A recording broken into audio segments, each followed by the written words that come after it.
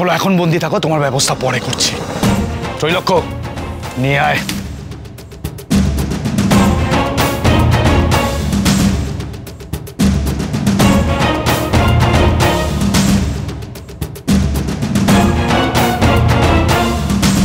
উনি উনি কোথায়? কোথাও দেখতে পাচ্ছি না তো। কোথায় নিয়ে গেল ওনাকে? ঠাকুর ওনাকে রক্ষা করো, ঠাকুর।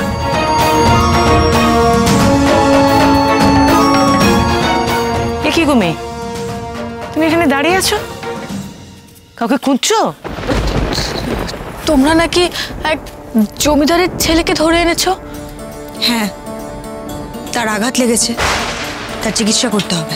কিচ্ছু হবে না। ও ওইভাবেই পড়ে থাক। কোনো চিকিৎসা হবে না ওর। চরম শাস্তি ওকে দিতেই হবে। না দিবা। ওকে চরম শাস্তি দেওয়া যাবে না। ও শুধুমাত্র ওর বাবার খাজনা পৌঁছে দিতে যাচ্ছিল। ও কারোর কোনো ক্ষতি করেনি, কোনো গ্রাম লুট করেনি, কাউকে মারেনি। তাহলে কেন আমরা ওকে চরম শাস্তি দেব? ভুলে যাস না দিবা, আমরা যোদ্ধা। যুদ্ধক্ষেত্রে আমরা লড়াই করতে পারি, কিন্তু অন্যায়ভাবে কাউকে আমরা মারতে পারি না।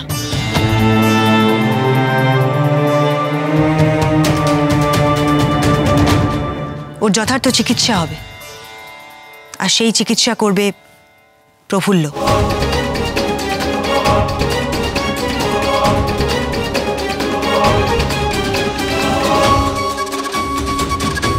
আমাদের ওপরে সেরকমই নির্দেশ আছে। আমি আমি চিকিৎসা করব? হ্যাঁ তুমি করবে। তবে খুব সাবধান। ওর চোখ বাঁধা থাকলেও কান কিন্তু খোলা আছে। এমন কোনো কথা বলবে না ওর সামনে যাতে আমাদের কোনো ক্ষতি হয়। আর কেউ কারও নাম ধরে ডাকবে না। মনে থাকবে? কিন্তু কিন্তু তাকে ধরে আনা হলো কেন? সর্দার তাকে ধরেছে। তবে এটাও ঠিক যে ও কোনো রকম বাধা দেয়নি।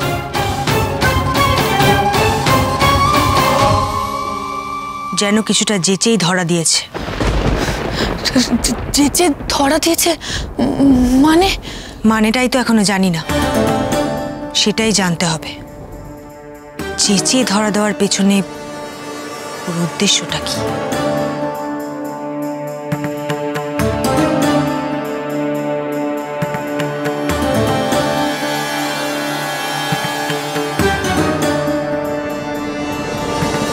ছোটনাথ বউ? এই নে পানটা খা দিকিনি পান খেয়ে ঠোঁট রাঙিয়ে তোর বরের কাছে যাস। দেখবি সোহাগে আদরে ভরিয়ে দেবে। তুমি কি বলো না কই রে নয়ন বউ? তুই একটা নে। না বাপু ওইসব পান টানকে সোহাগ করার আমার কোনো ইচ্ছা নেই। আমি ওনার ঘরণী গৃহিণী। তা থাকলেই যথেষ্ট। মরণ দশা। কথার যে কি ছিরি না? নে নে, তুই নে তো, নে ও তোমরা তোমরা এখানে? জানো, পিসিমা, আজকে আমি খুব খুশি। মানে ব্রজ নিজে থেকেই এরকম একটা দায়িত্ব কাঁধে তুলে নিয়েছে। সাহেবরাও নিশ্চয়ই খুব খুশি হবে, বুঝলে? এমনকি খুশি হয়ে ওকে কিছু উপহারও দিতে পারে। কি বলো? হ্যাঁ?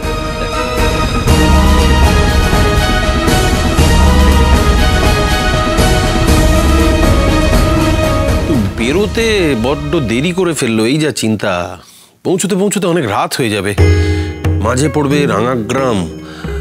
না না, আশা করি এতক্ষণে ভবানী ডাকাতের এলাকা ওরা পেরিয়ে গেছে। যাও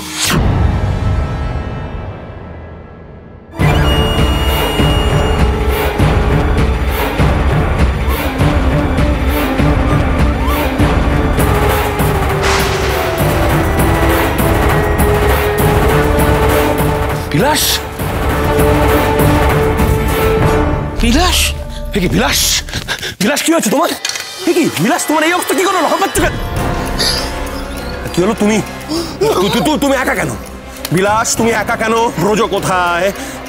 বিলাস বিলাস, উত্তর দাও। ব্রজ কোথায়? কোথায় ব্রজ? ডগরু, আমার লেঠেলরা তারা সব কোথায়? কোথায় বিলাস উৎ-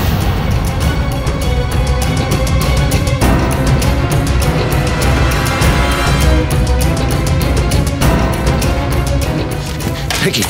ডুগরু? এ, ডুগরু তোর রক্ত রক্ত কি? রক্ত কি করে এলো? কি কি- হয়েছে? আরে আমার আমার ছেলেটা কোথায়? আমার আমার ছেলে ছেলেটা তোরা সব চুপ করে আছিস কেন? আমার ছেলে কই? আমার ছেলে ছেলে কই? বিলাস বিলাস ব্রজ কোথায়? ব্রজ কোথায় বিলাস? বলো জবাব দাও। ব্রজ কোথায় ব্রজ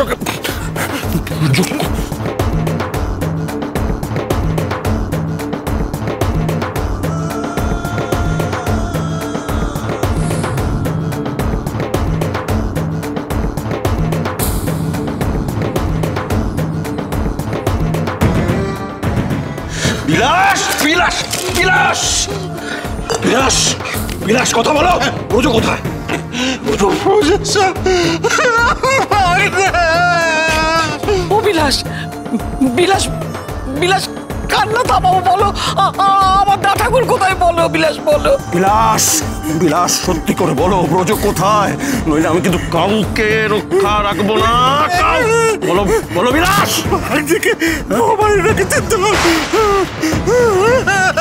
বলছো? ভবানী ডাকাত রঙ্গরাজ তার দলবল। তার দলবল কি করেছে? কি কি ব্রজকে কি করেছে বলো?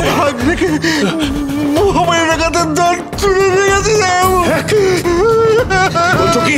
কি বলছো কি? ভবানী ডাকাত রঙ্গরাজ আর তার দলবল ওকে ওকে তুলে কি? কি কি কি কি বলে গেছে বলো? কি বলে গেছে? টাকা চাই তো? কত টাকা চাই বলো? বলো কত টাকা চাইছে বলো? আরে কি? কি বিলাস? বলেছে বাপের শাস্তি ছেলে পাবে।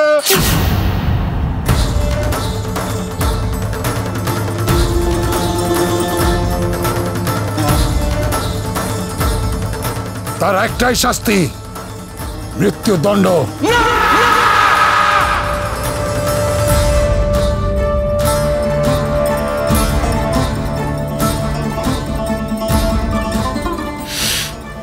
না। না এ হতে পারে না। এ কিছুতেই হতে পারে না।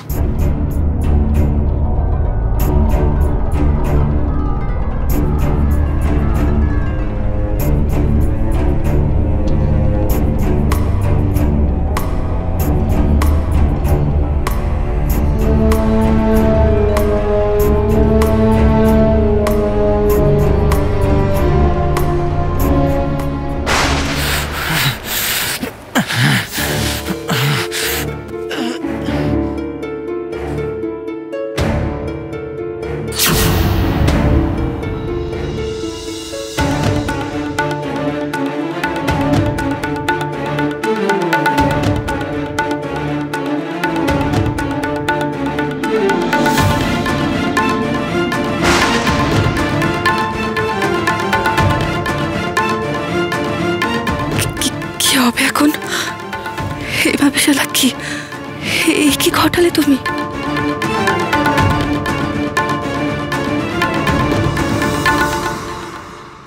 হঠাৎ জমিদারের ছেলেকে দেখে প্রফুল্ল এমন কেন করে উঠল?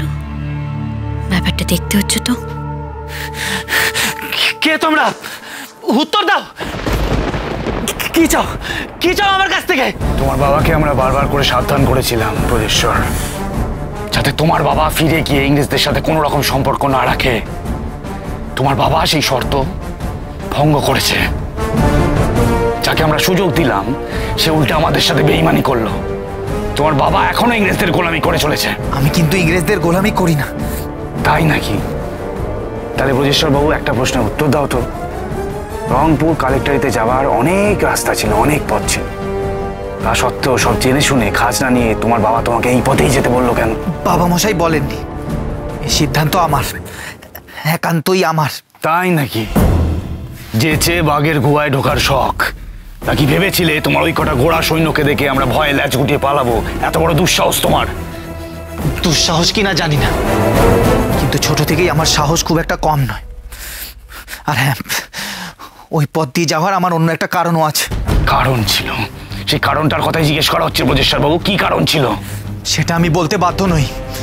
তবে হ্যাঁ এটা বলতে পারি যে ওটার সাথে তোমাদের কোনো সম্পর্ক নেই।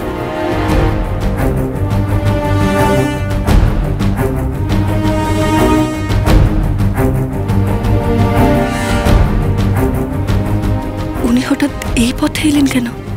কি কারণ থাকতে পারে? আমাদের কোনো সম্পর্ক নেই বাহ অপূর্ব। সর্দার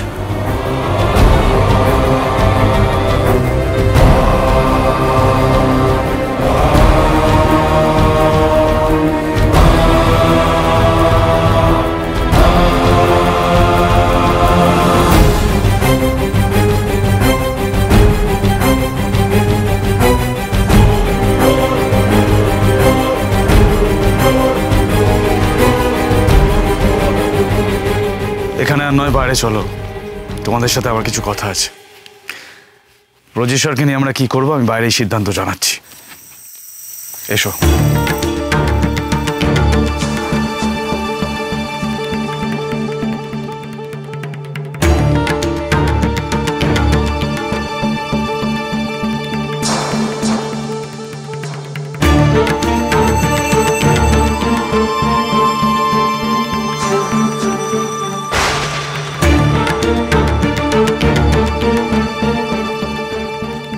যেতে বলা হলো তুমি শুনতে পেলে না?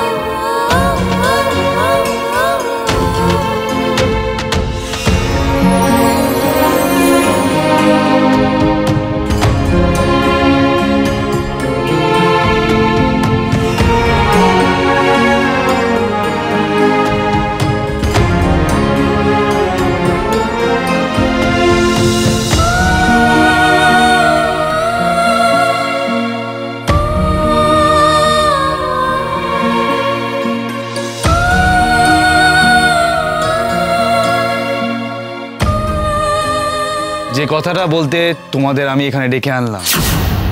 সেটা হলো এই যে গুপ্ত সংস্থার থেকে আমরা গরিবদের সাহায্য করি ভবানী ঠাকুরকে সেখানে আরও কিছুদিন থাকতে হবে। তার মানে এই জমিদারের ছেলের বিচার এখন হবে না? ঠাকুর আসার আগ পর্যন্ত তাহলে তো একে বন্দি রাখতে হয়। কিন্তু ঠাকুর না এলে এর বিচার হবেই বা কি করে? এতে এত বিচারের কি আছে? ওর শাস্তি হবে। আমরা তার বাবাকে ফাঁসি দিতে চেয়েছিলাম কিন্তু ঠাকুর তাকে নিজে রক্ষা করেছেন। এখন ঠাকুরের অনুমতি ছাড়া তাকে ফাঁসি দেওয়া কি ঠিক হবে? তোমরা জানো না? এই শয়তান জমিদার কত গরিব লোকের ঘর জ্বালিয়ে দিয়েছে? কত লোক ওর জন্য অনাহারে মরেছে? এবার তো পাল্টা আঘাত আনার সময় এসেছে। ওর একটাই শাস্তি সেটা হলো প্রকাশ্যে ফাঁসি। না!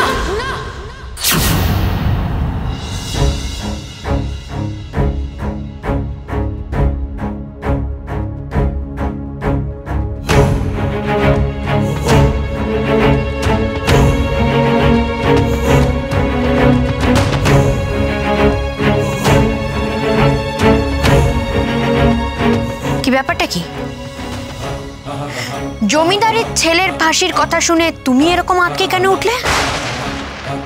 আমি ওই ঘরেও লক্ষ্য করছিলাম। বন্দিকে দেখে তুমি একটু চঞ্চল হয়ে উঠেছিলে। অমন শয়তান জমিদারের ছেলের ফাঁসির আদেশ শুনে তোমার এত মায়া দয়ার কারণটা কি জানতে পারি?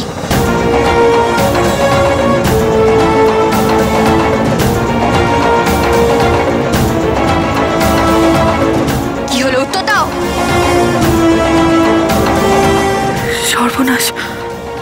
এখন এখন আমি কি উত্তর দিই? কি হলো উত্তর দাও। ওই জমিদারের ছেলের প্রতি তোমার এত দরদ কিসের? যে হরবল্লভ ঠাকুরকে দেওয়া কথার খেলাপ করে উল্টে তার বিরুদ্ধে ইংরেজদের হাত ধরে থাকে সেই জমিদারের ছেলের প্রতি তো এত মায়া মমতা থাকা উচিত নয়।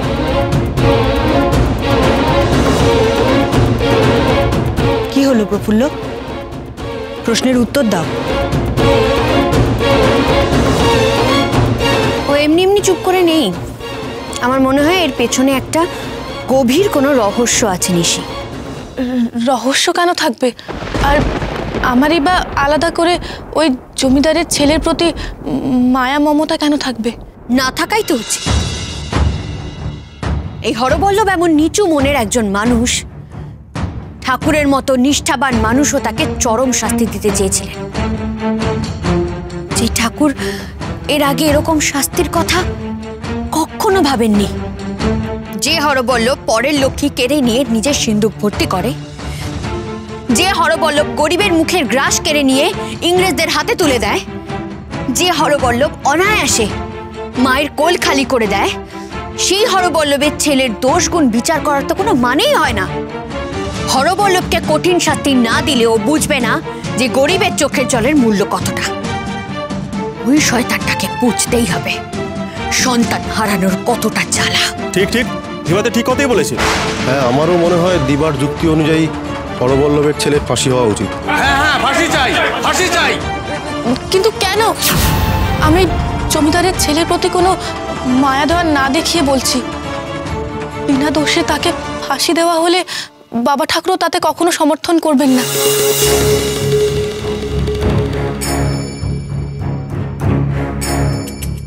আর বাবার পাপের শাস্তি ছেলে বা কেন পাবে? তাও আবার এরকম চরম শাস্তি। সেই জমিদার পুত্র কি কারও সন্তানকে হত্যা করেছে? কারও সম্পত্তি কেড়ে নিয়েছে? যদি তাই হয়, তাহলে তাকে ফাঁসির সাজা দেওয়া হোক।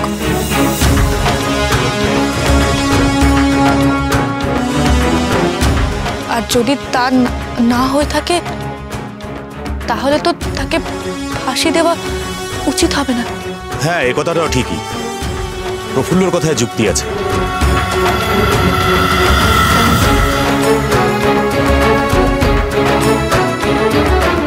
সর্দার তুমি কি বলো? কি বলি বলতো? আমি নীতিগতভাবে ফাঁসি দেওয়ার পক্ষপাতী নই। কিন্তু দিবার অকাট্য যুক্তি আর প্রফুল্লর পাল্টা যুক্তি শুনে যদি ভুল বিচারে কোনো মানুষকে এইভাবে শাস্তি দেওয়া হয় তার থেকে বড় পাপ আর কোনো কিছু তো হয় না। কিন্তু কথাও ঠিক যে হরবল্লভকে কঠিন শাস্তি দিতে হবে সে কথা ঠিকই। সর্দার আমি একটা কথা বলি। নিশি চুপ করে আছে। ও বিচক্ষণ ওকে না হয় বলো না যে একটা সিদ্ধান্ত জানাতে। ঠিকই বলেছিস। নিশি?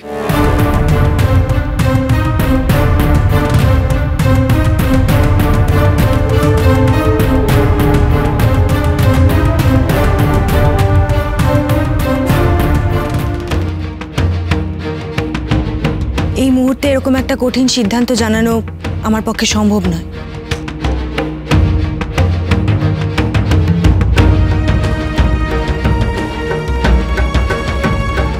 হাসির পক্ষে এবং বিপক্ষে যুক্তিগুলোকে ভালো করে বিচার করতে হবে।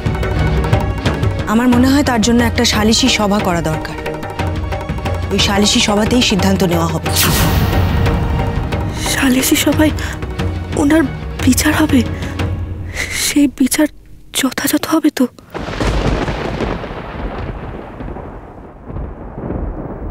শোনো প্রফুল্ল তুমি ওই মানুষটার দেখাশোনা করবে। যতদিন না সালিশি সভা ডেকে তার বিচার করা হচ্ছে।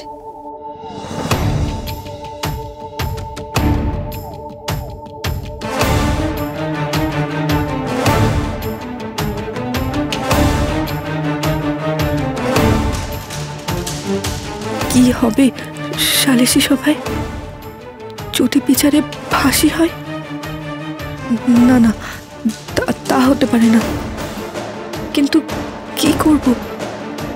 দিবা ইতিমধ্যেই আমাকে সন্দেহ করছে। ওনাকে পালাতে সাহায্য করব।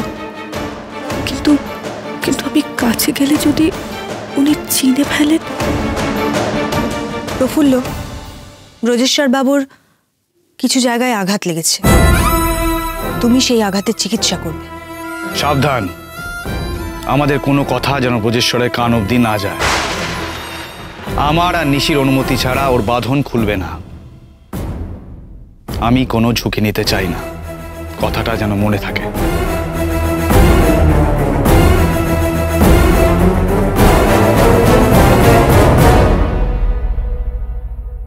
এই কোন পরীক্ষায় আমাকে ফেললে বা বিশালাক্ষী? আমি কি করে নিজেকে ওনার সামনে লুকিয়ে রাখব? কি করে রাখব, মা?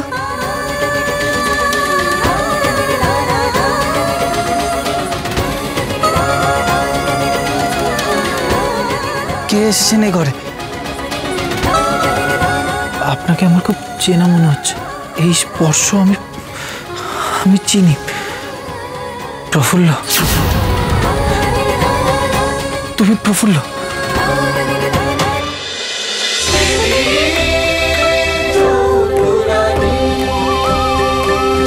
cholo, cholo, cholo, cholo, paltai.